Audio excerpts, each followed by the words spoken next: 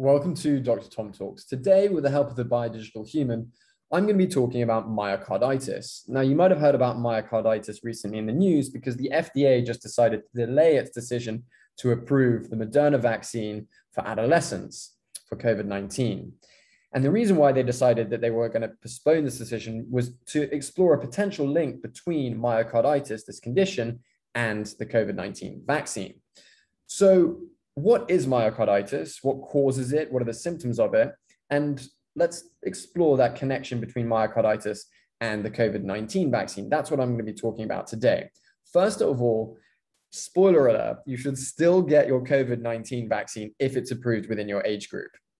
You should still get your COVID 19 vaccine if it's approved in your age group. Just to repeat that, I'm going to go into that in just a little bit. First of all, what is myocarditis? Well, myocarditis, the word itis means inflammation, myocardium, myo muscle, cardium heart, so inflammation of the heart muscle. So if I use this remove feature right here, I'll remove the cardiac fat and you can see the heart muscle right there. We can actually go into a cross-section view to see this area of the heart which is inflamed. This is the myocardium. These are your big pumping chambers of the heart that get your blood all the way throughout your whole body. We can go one step further and zoom in a little bit more and we'll see the myocardium right here. This is the area that's inflamed. Here is the inside of your heart, so where the blood would be. That's the endocardium. This is the pericardium. This would be your chest cavity. And that is the area of the heart that's inflamed. So let's get the vaccine topic out of the way first. First of all, you are much more likely to contract myocarditis or to get myocarditis if you have COVID 19 than if you have the vaccine to COVID 19. So the data shows that there are only 4.8 cases per million vaccines, per million mRNA vaccines, 4.8 cases of myocarditis per million COVID 19 mRNA vaccines versus 150 cases of myocarditis per 100,000 people who have COVID 19. So you can see it is way more likely that you're going to get myocarditis if you have COVID 19 versus if you're vaccinated against it. So the, the story, the answer to the question is yes, get vaccinated if it is in approved in your age group.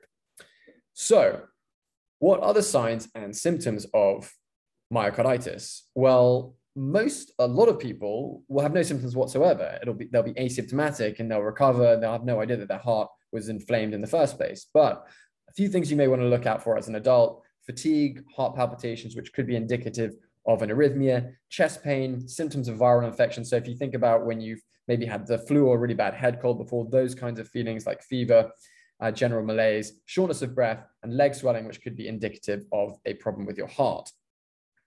What you'd look out for in your kids, or if you're a kid yourself, things like fever, fainting, feeling really tired, so fatigue, heart palpitations again, chest pain, and then breathing difficulties or breathing quite rapidly, so a high respiratory rate. So, what are the causes of myocarditis? Well, lots of things can cause myocarditis. You can have an infection, so that's bacteria, fungi, um, viruses, and so on, various medications, illegal drugs, uh, chemotherapy, radiation therapy all of these things can cause myocarditis, a big broad spectrum of things. They're still looking into the connection, the potential connection between uh, the COVID 19 vaccine and myocarditis, but those are the things you want to think about. In the rare instance that you have a severe case of myocarditis, and it is quite rare, there are other things that can happen to the heart that I do want to show you. So the first thing that could happen is that this myocardium, which was inflamed, can actually become damaged. So here you'll see you have an enlarged heart chamber. So if you go back to the normal size, you can see it's, it's smaller.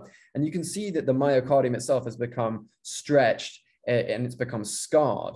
And that can actually cause issues with your heart pumping, such as heart failure. And this is what we see here in the next chapter. So here you have a big chamber and it's difficult to pump out enough blood to the rest of the body. And that's heart failure when you don't get enough blood pumped out to your body to meet your body's needs.